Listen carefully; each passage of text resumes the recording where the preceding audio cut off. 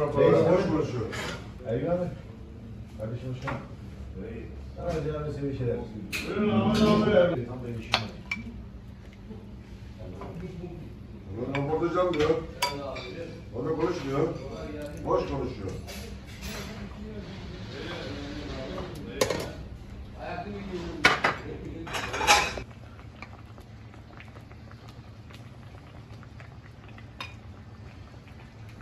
Karışık istedin sen, ben sana karışık vereceğim.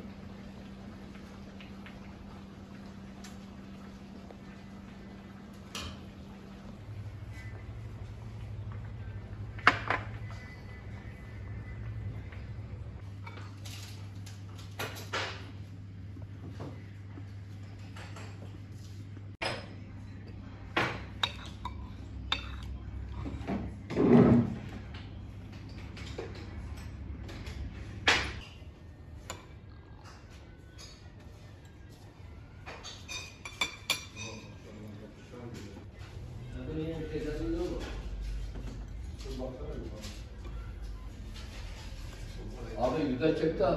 Beğenen olsun çok. Buraya Muğla'dan geldim. Tavsiye üzerine. Kelle paça içiyorum.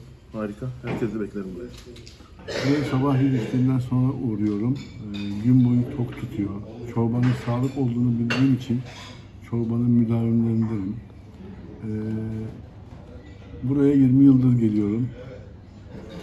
Ee, üzerindeki kolajen yapısı, çorbanın kalitesi çok güzel. Ee, favorim, tabii damak zevki farklı göreceli bir kavram olduğu için benim favorim ayak paça. Kimi kelle paça sever, kimi mercimek sever ama benim favorim ayak paçadır.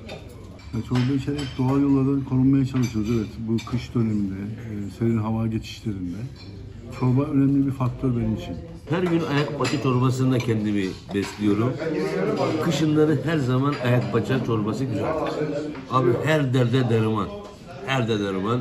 Hele bir de bu abilerimizin, bu ustalarımızın yapmış olduğu çorba üstüne yok. Şimdi bunu eee akşamdan koyuyoruz. Sabaha kadar kömür ateşinde pişiyor.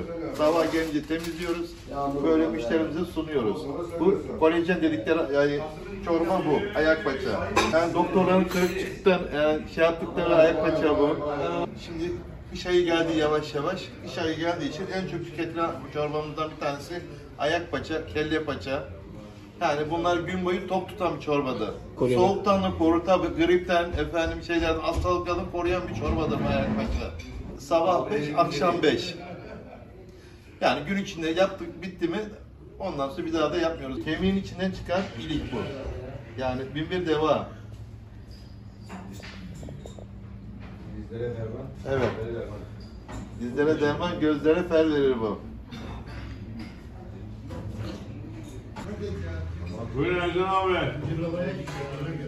Abim benim.